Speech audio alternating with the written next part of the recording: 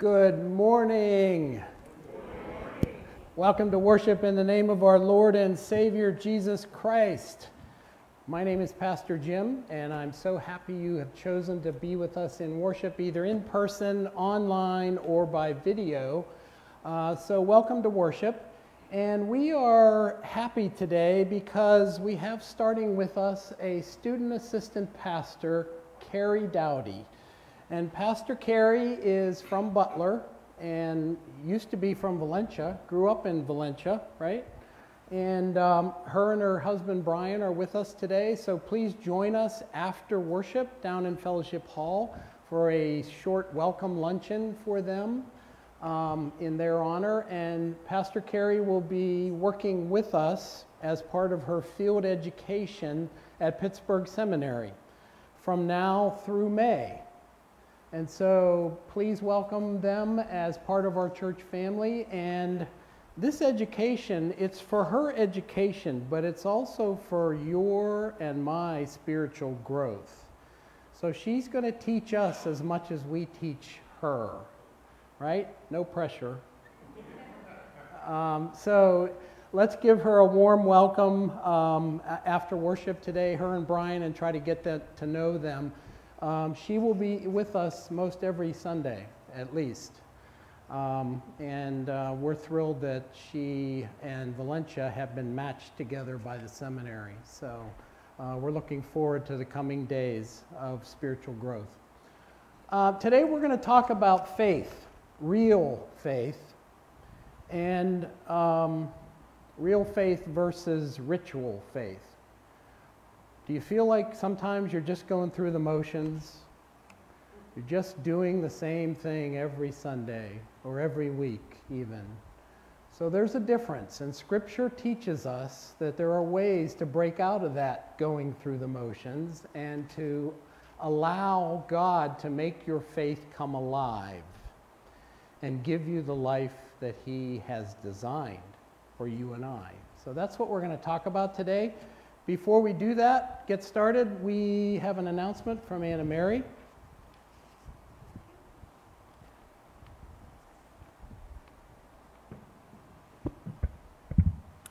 Well, our rummage sale items keep on giving and blessing others all over the world. I just wanted to share this little card with you. It says, Blessed are the givers, and grateful are the receivers. Thank you so much. Our church mission team is truly thankful for all the donations that we received from your garage sale. We will be passing them on here, which is in Middlesex, and in West Virginia, Romania, and India. God is working through all of us with Christian love and blessings, Glade Run Church. So those are our neighbors and your donations are going all over the world.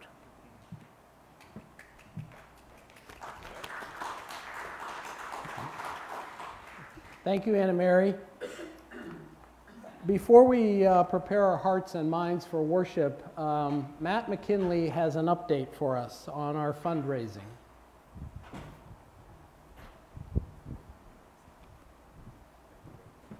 Good morning. So, uh, like Pastor Jim said, I'm here to give an update. If you could go to the next slide, please.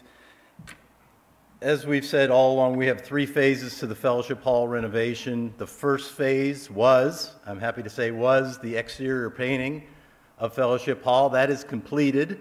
If you haven't checked it out, you should. It, it looks great now. So thanks to Jay for setting that up and, and yeah, and and uh, just following through that. It took a while to get there, but we finally got there with that. Phase two, as you know, is the renovation of the restrooms in Fellowship Hall, and that, as, as I understand it, is to begin in September. So just around the corner, we will be beginning soon. Tomorrow. Tomorrow, before September. So that's, that's awesome. Thank you, Tammy. So next slide. I have more good news. So our original goal for fundraising was $10,000. I am thrilled to say, and it, was, it is before I ever dreamed that this would be possible, that we hit our goal. We're already over $10,000. So.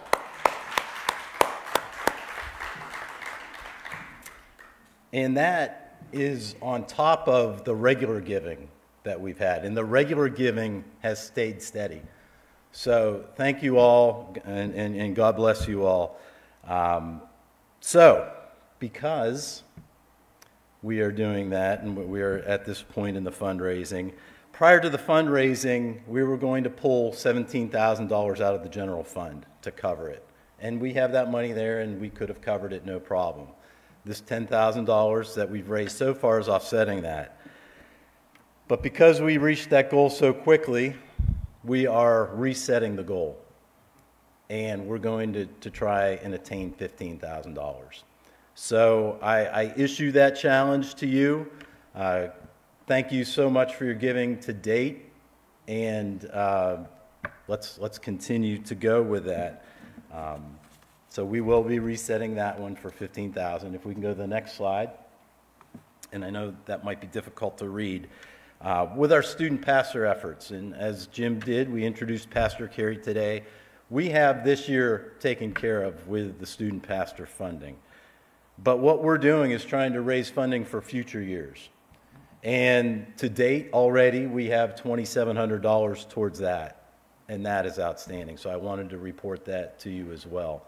So keeping the regular giving where it is, hitting our $10,000 goal, and then this 2,700 on top of that, it's just amazing for this church. So thank you very much. Uh, and on to the last slide. I, I had this slide up before, and I talked about, um, and this was a Rick Warren devotion, but giving by reason and giving by revelation. And I'm not going to read it to you, and I'm not going to reiterate what I said last time, but I just want to go to the last bullet on there and my prayer for you is that your barns will be filled and your vats will overflow with the finest of wines. So thank you again. I appreciate it.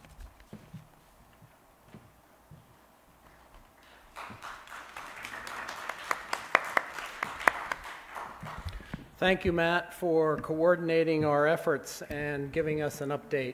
Um, I think we can probably look forward to more updates in the future, I hope um, as we continue to give to glorify God and take care of what He's given us here, uh, to be good stewards of that. So, without any further delay, uh, let's be called to worship.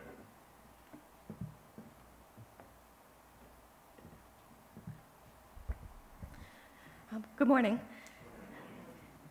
Let us begin with the, the call to worship that you'll find on the screen or in your bulletin. Summer wanes and the autumn draws close.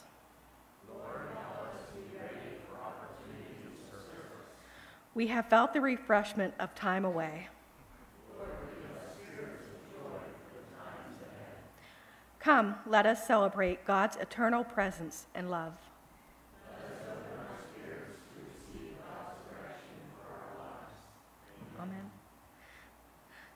So please join me and stand if you're able to sing the opening hymn Rejoice, ye pure, pure in heart.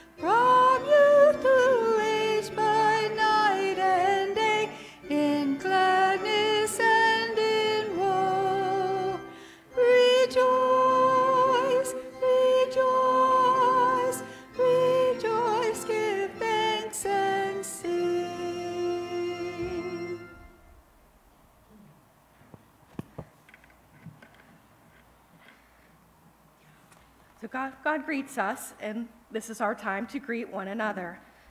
So this greeting of each other is one, let me start that over. This greeting of each other that we call the passing of Christ's peace. So, in a short time, so every one of us will respond to each other in God's greeting here in worship. So, we extend the peace of Jesus Christ to each other by waving, placing your hand on your heart or the peace sign. So, let us all greet one another.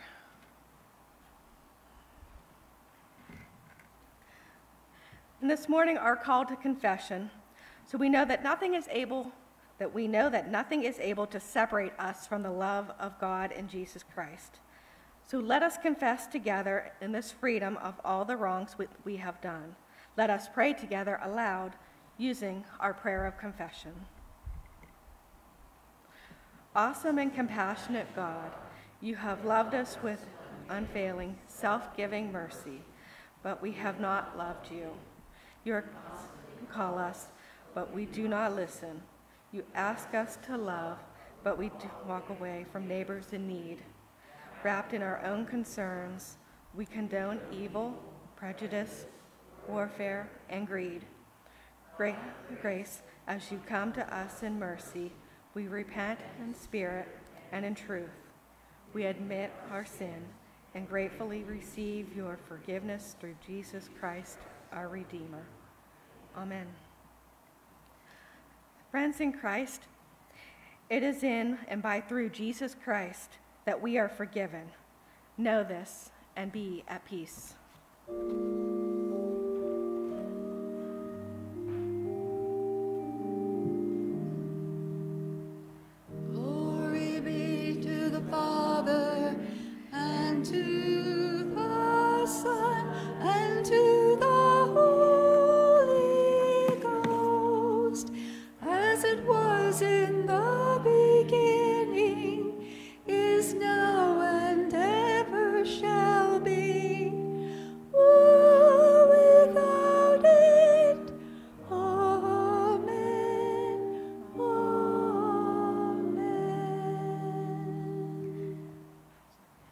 Pastor Jim will bring the, the message for the children.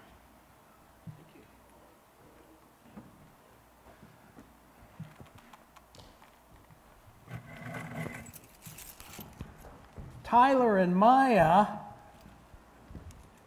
two of my biggest fans, or should I say friends? Two of my biggest friends. Are you friends? Do you know each other?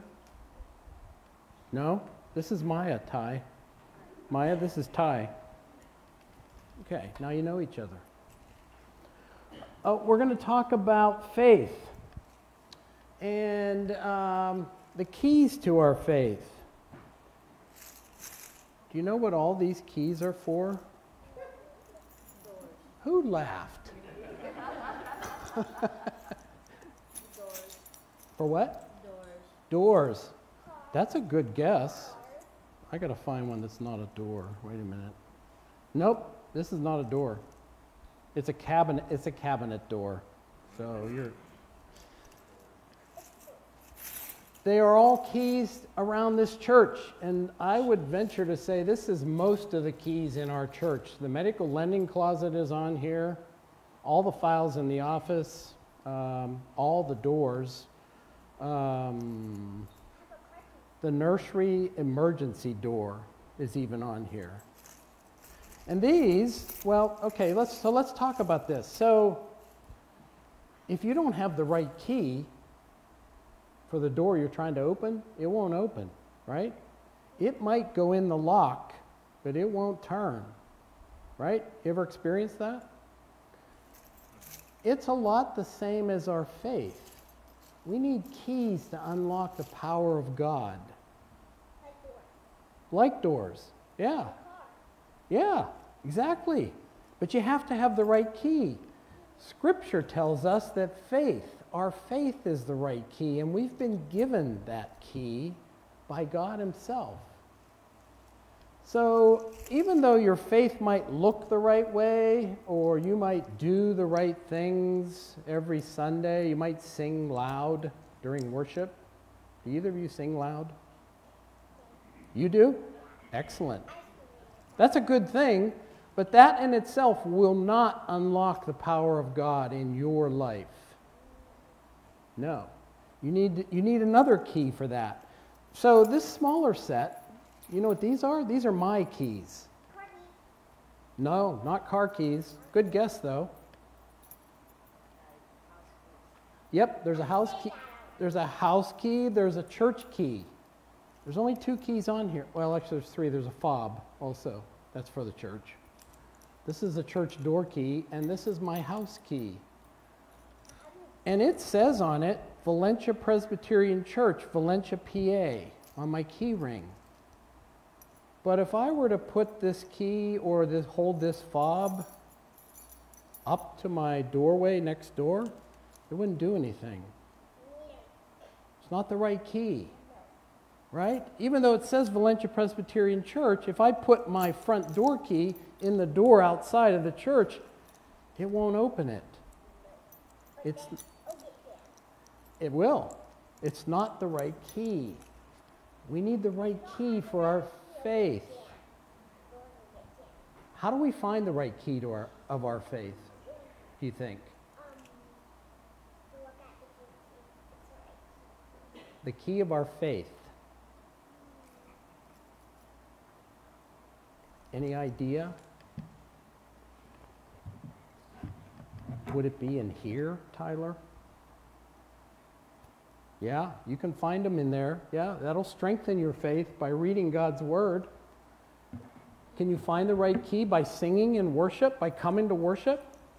You can find it that way, yep. That's not the only thing you need, though. Can you see can you find it by talking to all these friendly folks around you today?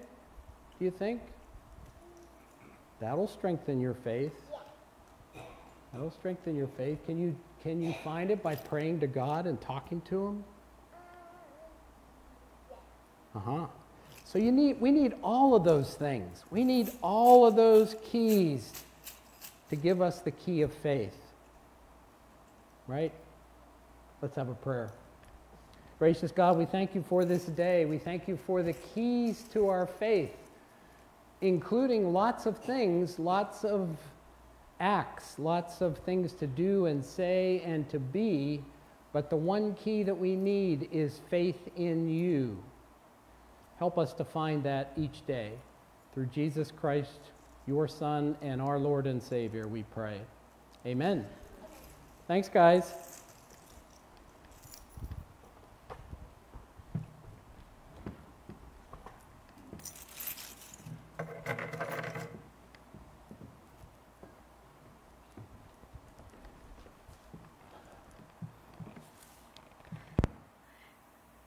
Prayer for illumination this morning. Lord God, you have declared that your kingdom is among us. Open our eyes to see it, our ears to hear it, our hearts to hold it, our hands to serve it. This we pray in Jesus' name. Amen. Our next hymn is Have Thine Own Way, Lord.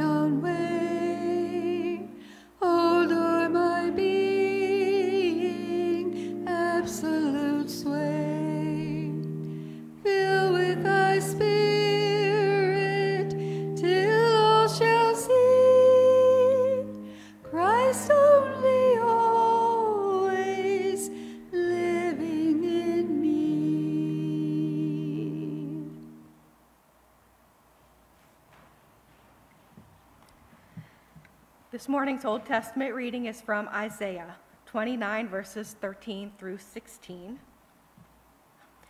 And so the Lord says, These people say they are mine. They honor me with their lips, but their hearts are far from me. And their worship of me is nothing but man made rules learned by rote. Because of this, I will once again astound these hypocrites with amazing wonders. The wisdom of the wise will pass away, and the intelligence of the intelligent will disappear. What sorrows await those who try to hide their plans from the Lord, who does their evil deeds in the dark. The Lord can't see us, they say. He doesn't know what's going on. How foolish can you be? He is the potter, and he is certainly greater than you, the clay. Should the, the created thing say to the one who made it, He didn't make me? Does a jar ever say, The potter who made me is stupid?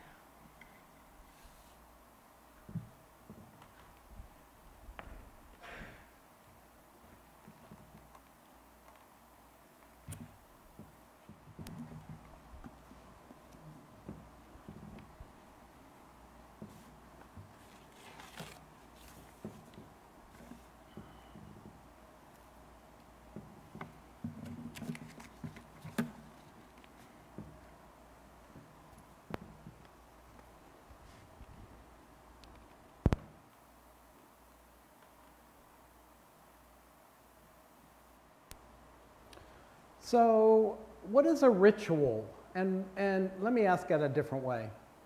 Why do we do the things that we do over and over and over again? Some call those habits, some call those routines. And we like routine, don't we?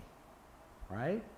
Do any of you do anything over and over the same way? I see some nods. We like that, don't we? We don't have to think about it. It's a habit. When it becomes a habit, you just do it.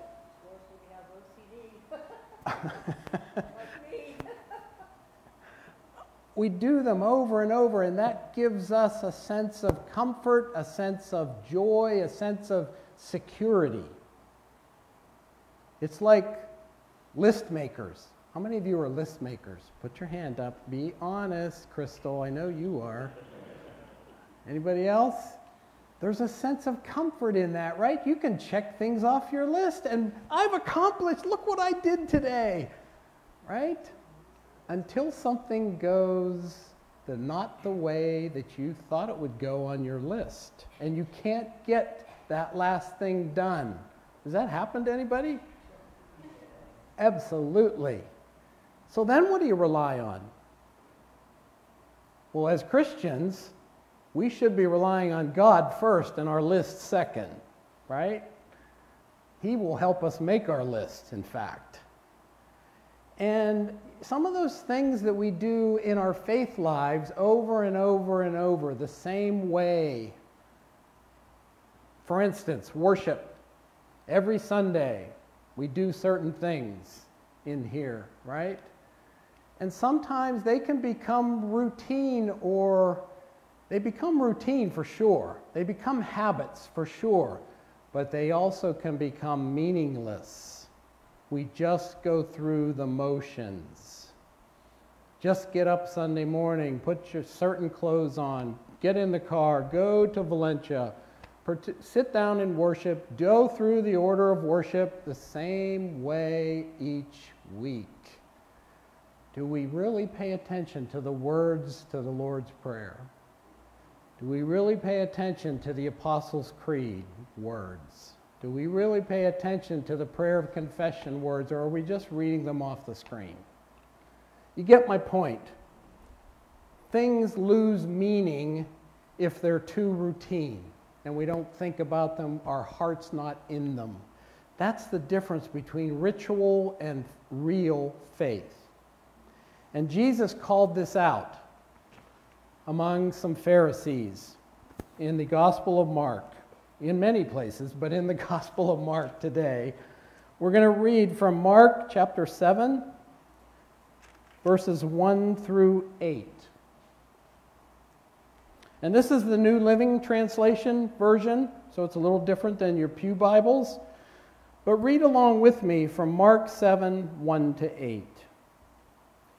One day, some Pharisees and teachers of religious law arrived from Jerusalem to see Jesus. they noticed that some of his disciples failed to follow the Jewish ritual of hand washing before eating.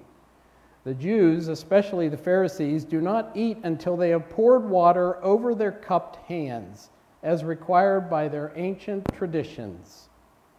Similarly, they don't eat anything from the market until they immerse their hands in water. This is but one of many traditions they have clung to, such as their ceremonial washing of cups, pitchers, and kettles.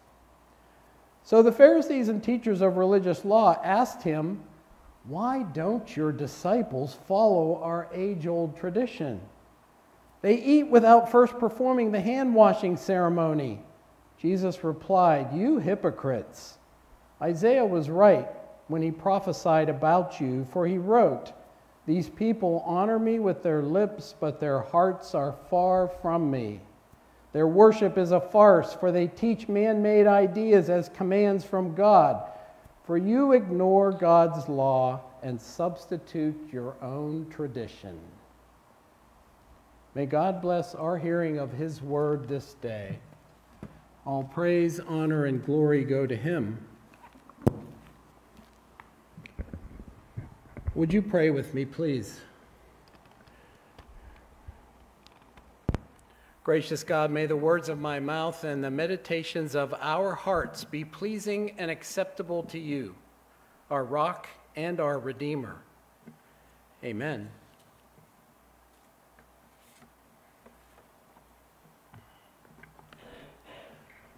I am confident that most of us, if not all of us, would agree on our preferences for having the following people in our lives a son or a daughter who shows respect and uses good manners. Right? Parents? Most parents would agree that would be wonderful. A husband or wife who is always thoughtful, always courteous, and gracious in both comments and deeds always. Most married couples would agree with that. Wouldn't it be wonderful to have a friend who always treats you with consideration? I think, of course, that would be great also. And it would be wonderful to have a neighbor who conscientiously takes care of their property while respecting your property. Right? But think about this. As wonderful as all of those people would be in our lives, none of them compare to a neighbor, a friend, a husband, a wife, a son, or a daughter with a good heart, with a genuinely good heart. You see, if they have a genuine good heart, all of those other things will come along also. Whenever we get too caught up with good behavior, we are focusing on the quality of a person's self control. However, whenever we consider their heart, we're focusing on the quality of the person. Their heart is who they are, not just what they do or how they act in certain situations. Now, a good heart will come through in certain situations, and eventually, it will come through in all that they do and say. Their heart is the key. It's the same principle in our faith as we live it out every day. It's the difference between a ritual faith or a real faith. That is what Jesus was calling out in our passage today, this morning the ritual faith of those Pharisees and anyone else who was listening. Interestingly enough, these Pharisees and teachers are gathered around Jesus and they are watching the disciples eat. Right? It seems the disciples are eating their lunch. Too tired and too hungry to cut care their, that their hands and their faces are all dirty, they immediately sat down to eat without washing in the ceremonial washing. In fact, it was not the dirty hands that the observers were criticizing. It was the fact that the disciples did not participate in the traditional ceremonial pouring of the water over the hands. Well, the Pharisees jump on this ceremonial oversight and they question Jesus. And they say, Why don't your disciples live according to the traditions of all the elders and clean their hands before they eat? Well, that's all that Jesus needs to hear, right? He sticks up for his disciples. He turns on these teachers and he says, in essence, why don't you live according to the traditions of God and clean your hearts? Those are Jim Kirk's words, not Jesus. What was Jesus warning the Pharisees about? What exactly was their mistake?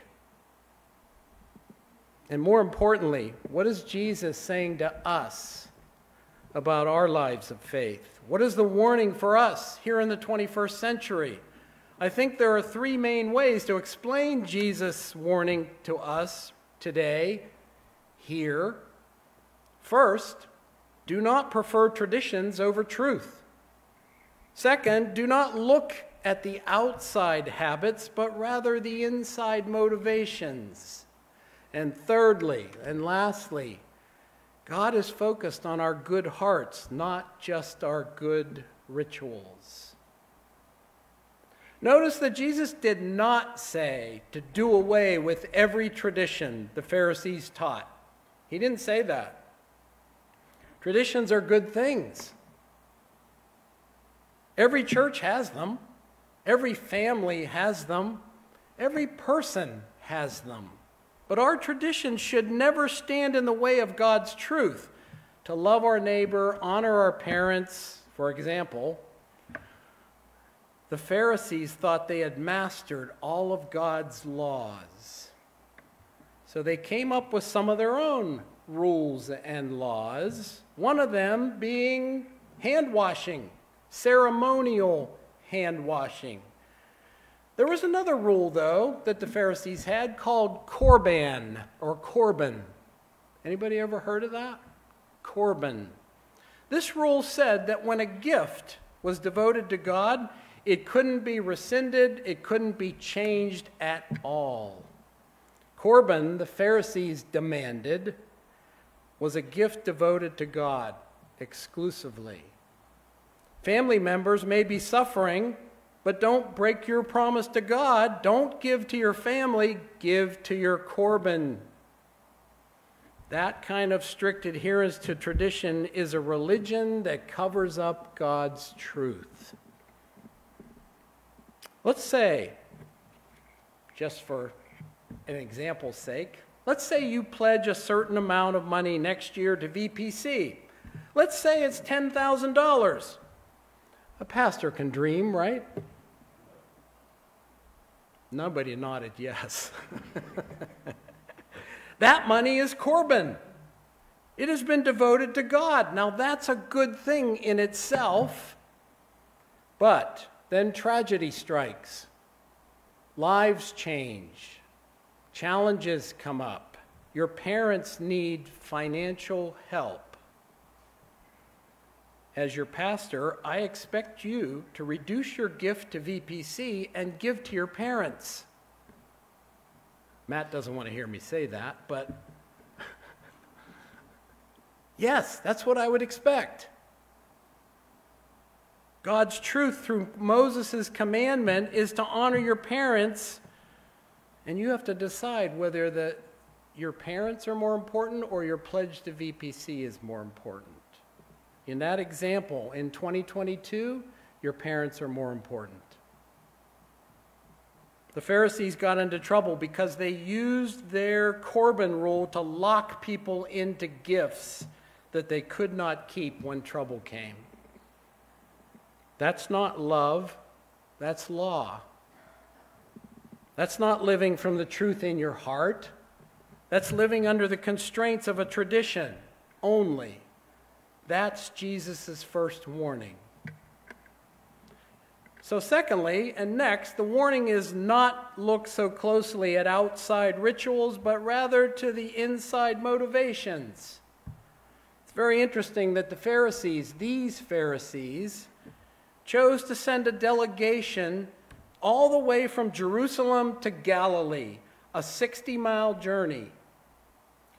That's the background for this conversation. That, that delegation is not there to, for a spot of tea. That's not why they came. They've traveled to observe for a while, and their presence was probably not welcomed by anyone. We do not know how long they were staying, but the usual reason for this kind of visit from Jerusalem was a fault finding mission. They were looking to find fault with somebody, probably Jesus, first. These Pharisees were not there by accident or to be nice or social. They were looking for any reason to hang Jesus Christ, so they observed his disciples. These are his closest friends, his followers. And they discover a minor infraction. The disciples were blamed for not performing the religious ritual of hand washing before they ate, which was considered an unclean act. Now, what does unclean mean to them? The obvious explanation, as you might have guessed, is dirty hands, right? Every parent knows about dirty hands for their kids. You know, germs, bacteria, or just plain dirt. But the practice of washing was not done by the Pharisees for reasons of health. That's not what they're talking about. That's not what they're looking for. In fact, it was done for religious purity. That's what they were looking for. It was thought that the normal activities and circumstances of everyday life made any Jew unclean before God. Pouring water over the hands washed away this uncleanliness. For us, this becomes an interesting question. Can outside rituals make us inside saints? What, right? Can the things we do outside, ex- exterior, so everybody can see, does that make us a saint inside? Today, for us, we might ask ourselves about all of our own rituals. Take for our worship, for example, with the reciting of the Lord's Prayer and the prayer of confession or the Apostles' Creed, make your heart clean just because you say them once a week? I see some of you nodding. no, it will not. Of course not. We all should know better than that. However, there are some very good benefits to us when we recite those parts of our worship service. They do bring us closer to God, they do bring us closer to each other, they do speak to the Holy Spirit who acts on our behalf. Open, in opens our hearts, opens our minds to God's voice, and serve to strengthen our faith. For these Pharisees and teachers, that question becomes Do clean hands make for a clean heart? To answer this, Jesus called the crowd to his side, and with the Pharisees and teachers looking on, he says to them, Nothing outside a person can make them unclean by going into them. Rather, it's what comes out of a person that makes them unclean. Think about that for a moment.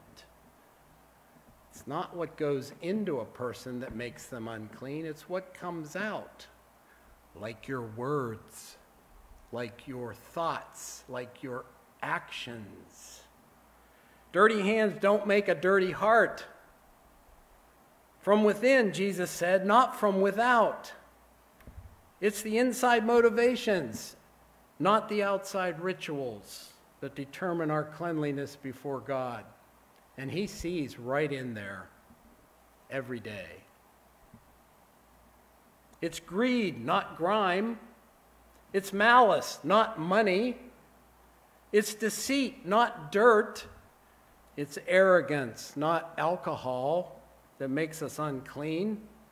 Water will not wash away sexual immorality either. Religious rituals will not cleanse us from envy, from selfishness, from arrogant pride. All those evils, Jesus said, come from inside and make a person unclean in God's eyes.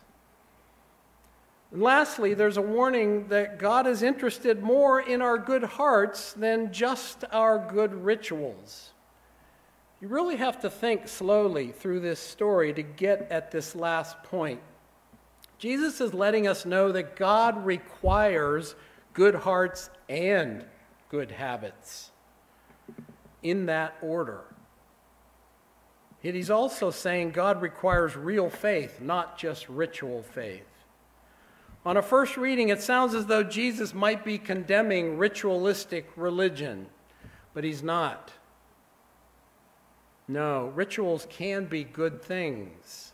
If pouring water over our hands ceremonially to remove dirt reminds us that we need daily to cleanse our hearts and practice generosity, kindness, humility, faithfulness, fidelity, that's a good thing, right? That becomes a good thing, that ritual. If, on the other hand, we think that simple act of pouring water over our hands makes us acceptable for, before God, that's a bad thing. You see the difference? Let me also mention a good word about creeds because I've blasted them now, including the Apostles' Creed, the Lord's Prayer, our prayer of confession. These are all good parts of our worship service. They are necessary tools for us to glorify God and to enjoy Him forever. On several Sundays, we say the Apostles' Creed. Not today, but on several Sundays, we either say the Apostles' Creed or any of the other creeds that are in our Constitution. And the church has been saying that creed for almost 1900 years, probably a little more than that. We've been praying the Lord's Prayer which, since Jesus taught it to his disciples. They said, How, Lord, do we pray? And he told them the Lord's Prayer. These are some of our rituals, our traditions. Does saying these things make you holy or give you eternal life? Of course not. No. Does memorizing the words make you a saint? Of course not. But if from your heart you earnestly believe all that the creeds teach us and the Lord's Prayer says, then you are becoming holy. You are becoming a saint. Friends, you can perform all the right rituals and recite word for word the creeds, but they won't make you clean before God. Your faith, if it's real faith, is from here, it's from the heart. And of course, God knows our hearts and can change our hearts also. In closing today, I want to read for you part of an interview with a Christian contemporary artist named Matthew West. Anybody familiar with Matthew West? Thanks, there's a few. His songs are very singable. I sing in the car all the time to Matthew West. And he, he was asked in this interview how and why he wrote the song The Motions in 2009. This praise song speaks to this feeling of just going through the motions, right, in our faith. So listen to what Matthew West said when asked about this song after, that he, he wrote this song right after surgery. He had had surgery and lost his voice. Does your faith journey, he said, do does your faith journey ever have these desert seasons? I think one of the greatest challenges in actively living out a relationship with Christ on earth is to avoid the trap of simply going through the motions. I know what a Christian should say. I know what a, how a Christian should act. I know how to put up a spiritual front, even if I'm not passionately seeking God. That's why I wrote this song. I was frustrated. I was tired of that constant settling for a stale faith. God is a God of passion. His true plan for our lives is anything but boring. Every day, the God of adventure beckons his sons and daughters to quit going through the motions and walk into a life filled with passion and wonder. The last line of the chorus strikes me every time I sing it. It goes like this I don't want to spend my whole life asking, what if I had given everything? Instead of going through the motions. Matthew West finished up this interview with this My surgery in silence really brought this song to life for me. Trials force movement, pain makes you feel. I'm thankful for the difficult time I had to go through because God used it to remind me that going through the motions is not really living. That was Jesus' warning to the Pharisees and to us. Is your faith real or are you just going through the motions? If it's not real and you're not really living, ask God for help to make it real, and He will. Amen.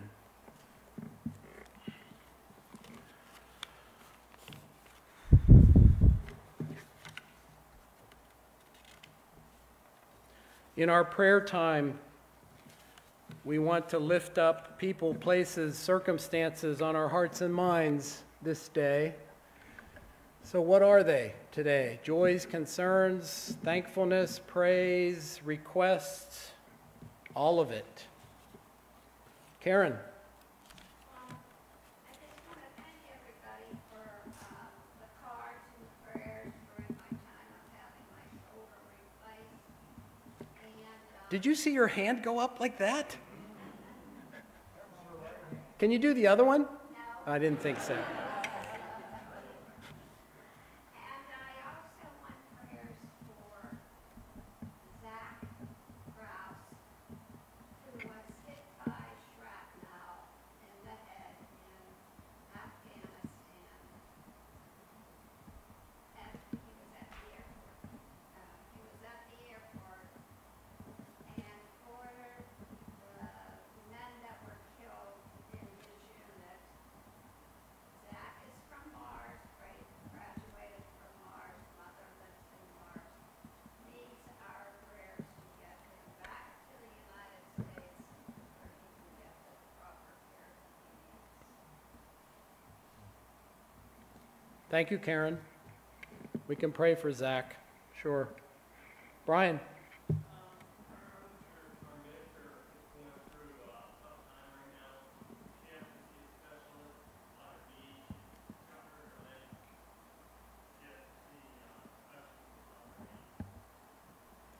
That's Reverend Mary.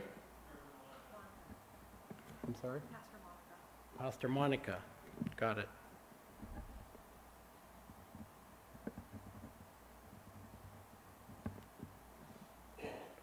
Thank you, Brian.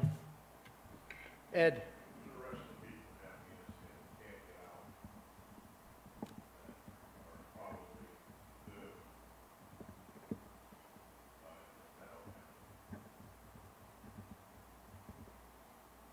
Mary Laura.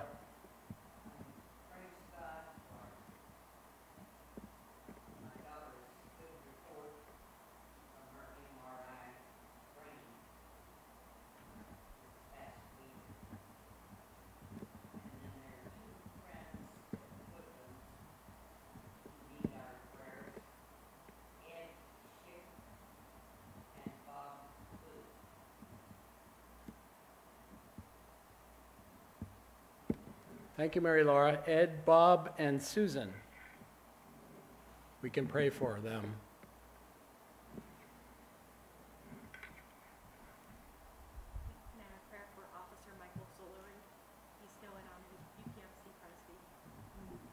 Officer Michael yeah, I don't want to give his last name, who's still at Presby. He was stabbed in Butler.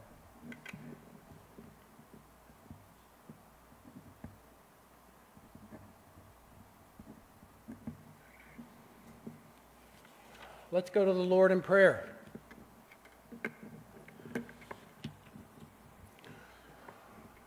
Lord God, you are the compassionate God of our lives. And we like to think that all we have to do is be religious, to speak the words, but that we really don't have to walk the walk. We can get so caught up in ritual and rules that we forget the essence of your word for us and to us.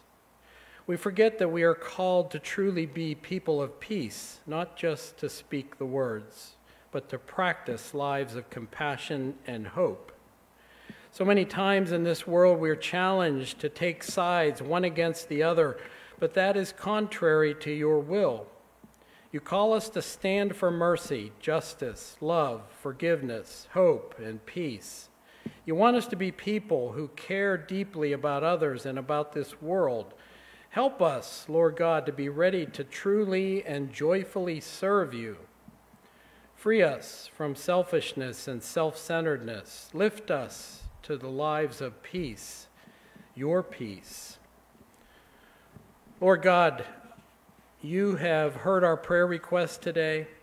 We lift up prayers for Zach in Afghanistan, for the families of the men who were killed, have been killed, for all the people trying to get out of Afghanistan.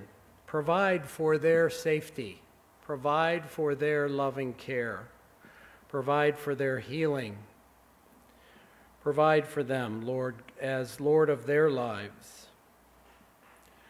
We pray for Pastor Monica and her health concerns and whatever it requires. Lord God, be with the surgeons, specialists, people taking care of Monica.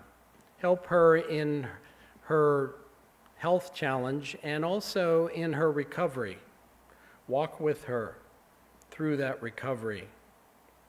Lord God, we pray for people that have gotten extraordinary health care and have recovered by your hand. We pray for Susan. We lift up Susan, Ed, and Bob, as all of them are still facing some challenges, but are thankful for what they've received already. Guide them, be with them, lend your healing hand upon them in the coming days and weeks that they would come to know you as their Lord and Savior, and that you are walking with them, taking them by the hand. We pray for Officer Michael, who is at Presby. We pray that he would be healed, that he would be taken care of, that he is in your hands. Guide the specialists and surgeons and all those taking care of Michael. And guide the person who you um, have taken that caused those injuries. And the people of Butler, give them your healing in that neighborhood. Lord God, you see our hearts, you know our hearts. Let our hearts not be far from you. Help us to reach out to our neighbors even when we are busy or tired. Let us tear down walls when we'd rather let them stand or build them up. Stretch us, please. Lord, sometimes the best thing we can do for others is to pray for them, and you have promised to hear us when we pray and listen to us and answer our prayers in your perfect time and in your perfect ways. Do that for us this day as we've lifted up these prayer requests and all of those unspoken. We ask for your healing power and strength and peace for all the concerns and requests whether we are visiting someone, offering a smile, feeding the hungry, or praying in worship or at home, be within us so that whatever we do, we do with your love and direction. Let the world know we are your disciples, not because our hands are clean, but because they're soiled with the mark of your people. We offer all of these prayers in the name of Jesus Christ, your Son who taught us when we pray to say these words Our Father, who art in heaven, hallowed be thy name. Thy kingdom come, thy will be done, on earth as it is in heaven. Give us this day our daily bread, and forgive us our debts as we forgive our debtors. And lead us not into temptation, but deliver us from evil. For thine is the kingdom, and the power, and the glory forever. Amen.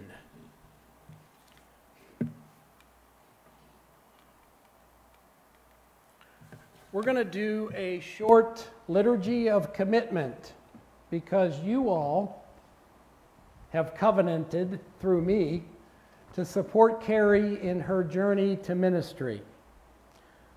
So, on the screen is the responses.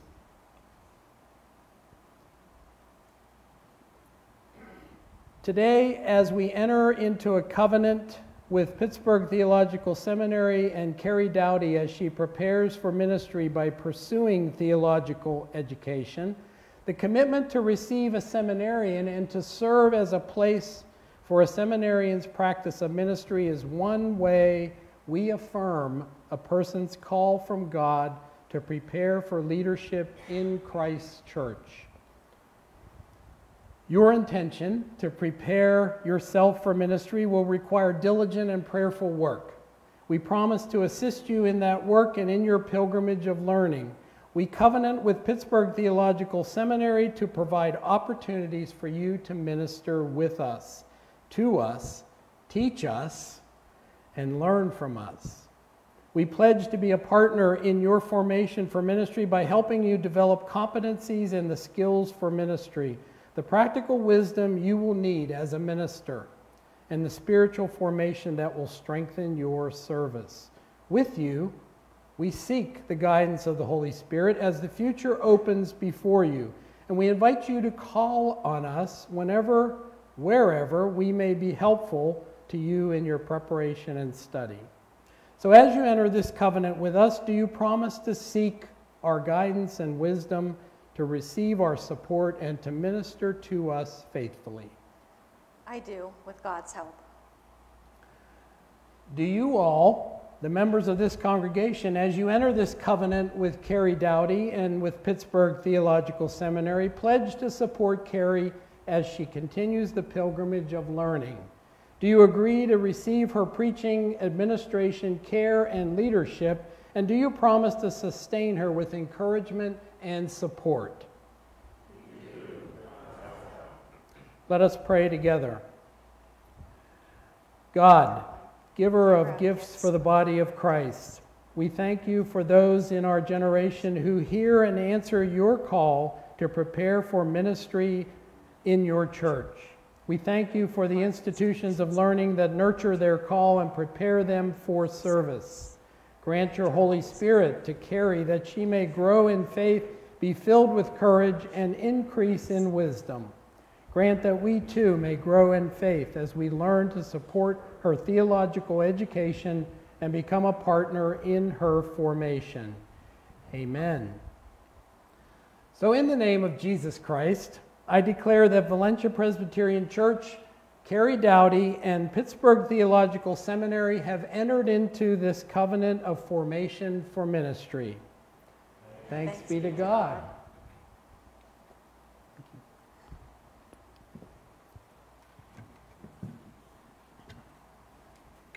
The offering in our worship service is a vital part of our response to God's Word. It helps us to connect our praise of God with our life of discipleship. The money given for our offering, whether it is here in worship or by mail or online, it is a token and symbol of our desire to devote our whole selves to God's work. The word, offering implies something freely given, given in dedication and devotion. So here at VPC, this is never just a collection. Let us continue to offer our first fruits to God as a praise of Him. And let me pray for all of our offerings today and every day. Please pray with me. Gracious God of our lives, from your hand we have freely received. Accept the offerings today and every day of your people as expressions of thanks. Lovingly remember those who have given, enrich the lives of those for whom these gifts are intended, and use these gifts to promote goodwill and to bring your kingdom closer. In the name of our Lord and Savior Jesus Christ, we pray. Amen. Please stand if you're able and join me in the closing hymn God of the Ages, whose almighty hand. God of ages, whose almighty